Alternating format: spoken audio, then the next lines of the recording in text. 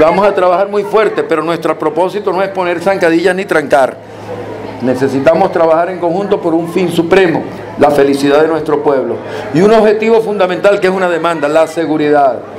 La seguridad, la lucha contra el bachaqueo. Vayan a preguntar en cualquier bodeguita de por aquí a cómo está la harina pan cuando la hay, a cómo está el azúcar cuando la hay, a cómo está la leche cuando la hay. Y se van a dar cuenta que necesitamos todos trabajar.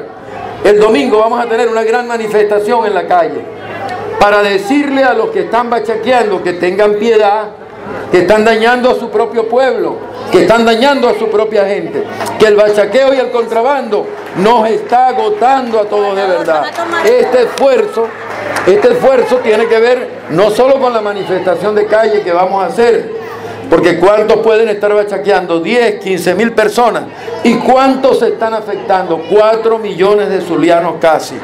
Entonces, esta movilización del domingo dentro del apoyo a toda la política de seguridad que lleva el comandante, el presidente Nicolás Maduro Moro, va a ser en el centro de Maracaibo.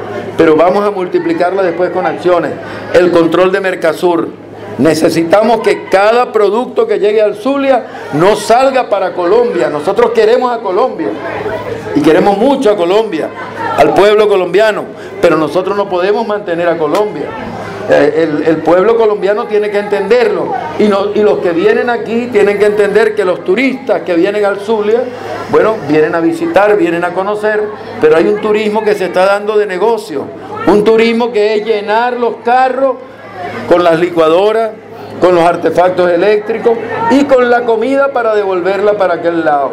Entonces, vamos a tomar todas las medidas necesarias y en conjunto para parar el contrabando de gasolina.